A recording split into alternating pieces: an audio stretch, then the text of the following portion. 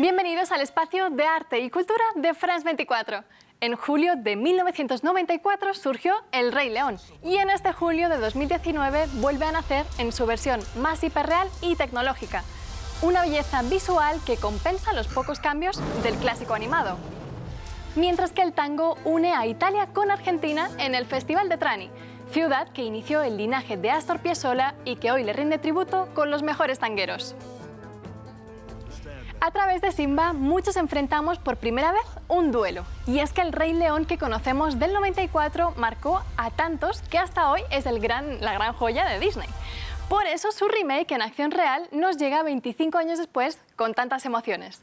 La historia no se ha tocado, es idéntica al original, con un Simba que sigue los pasos de su padre Mufasa, pero cuyo destino trunca su tío Scar. Una lucha que para algunos recuerda por qué encantó la película, mientras que para otros le falta riesgo, actualizar las figuras o tratar temas como la desigualdad entre hienas y leones. Si bien el cambio más grande es visual, es poder ver a los personajes respirar y caminar por la sabana, en un claro homenaje al reino animal.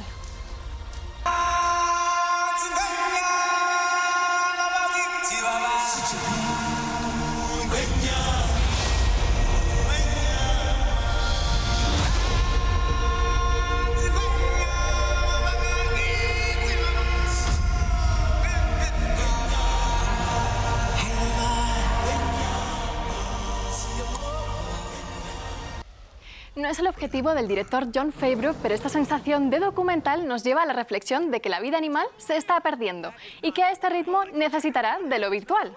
Hans Zimmer nos sumerge en esa idea repitiendo en la banda sonora, mientras que Timon y Pumba nos conmueven entre las voces de Billy Eichner, Seth Rogen, Beyoncé y Donald Glover.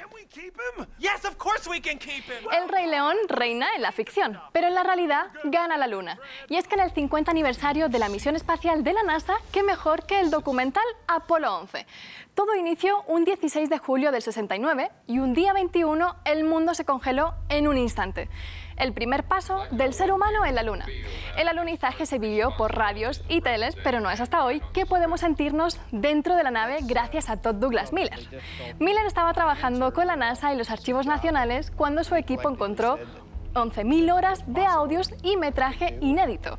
Un, un, hito que nos permite ver el despegue, oír las impresiones de Armstrong, Aldrin y Collins y también la de los mandos de la NASA. Sentirnos casi como astronautas.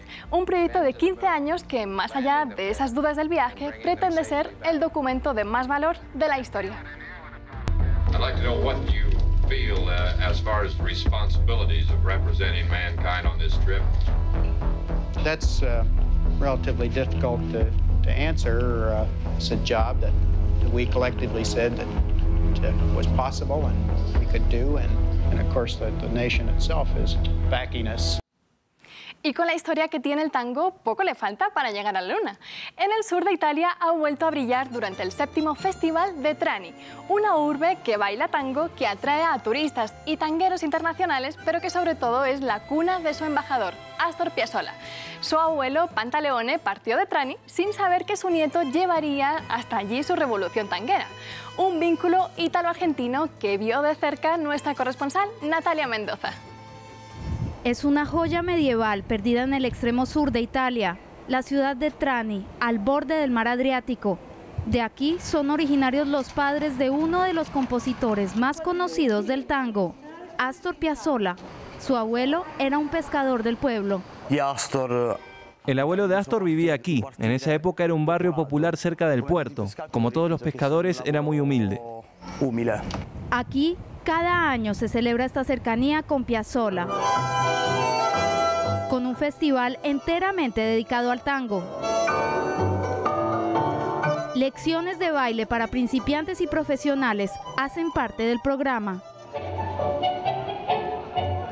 Al anochecer se da paso a la milonga, al aire libre. Personas de todo el mundo vibran al ritmo de este baile, profundamente arraigado en la cultura argentina. El objetivo es difundir nuestra cultura. Si no difundís tu esencia, no difundís tu identidad. y es muy importante difundir la identidad de un pueblo como es Argentina. Se respira muchísimo la pasión del tango, aquí la gente baila bien. No hay muchas milongas y no hay muchos festivales que están en aire libre, entonces para mí se combinan varias sensaciones. Todo termina con espectáculos de veteranos tangueros, la mayoría argentinos, que dejan una huella más en Trani, la ciudad del tango en Italia.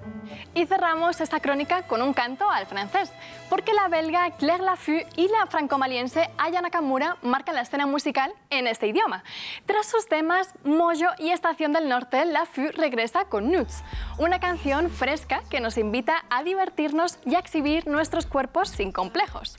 El plus es su dúo con Iselt, ex candidata de un concurso musical, que le suma poder en un panorama en el que Laffu siente que no hay muchas colaboraciones femeninas. Mientras que desde su single Yaya, Aya Nakamura se está erigiendo como la reina del afropop en Europa, con un estilo rap en beat tropical similar al boom del reggaetón. Pese a las críticas por sus letras, lo que seguro es que tiene la fórmula del éxito y en Poki lo repite. Con este tema nos despedimos, pero la cultura sigue en france24.com. Muchas gracias.